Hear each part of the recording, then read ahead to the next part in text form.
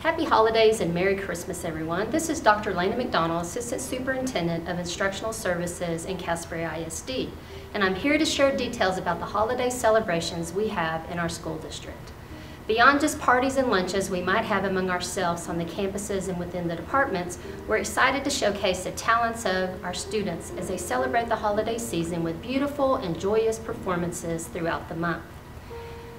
CHS and Irma Marsh Middle School students rang in the season in Sundance Square on December the 1st. They performed two shows in Sundance Square.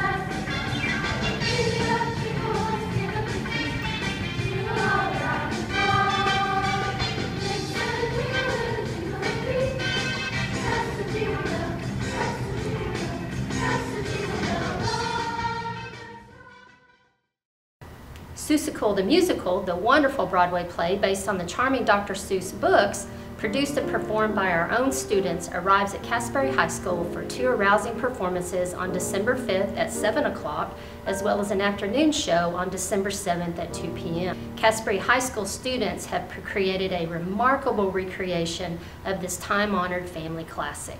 Irma Marsh Middle School's beginner band regales us on December 9th at 6 p.m. with a holiday concert to keep the celebrations going. While the CHS band follows closely on December 11th with its own version of the Christmas concert at 7 p.m. The elementary schools are not left out of our celebrations, of course.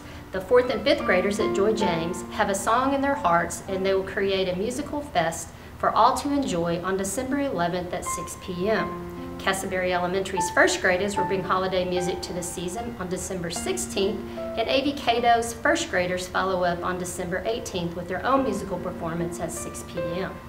We're back at Irma Marsh on December 15th at 6 p.m. for the Castleberry Choir Concert, and then the next night, December 16th, also at the middle school, we have the 7th and 8th grade band presenting their holiday concert at 6 p.m. There's something for everyone to enjoy during the season. Please bring your family and friends to one of these events at our campuses.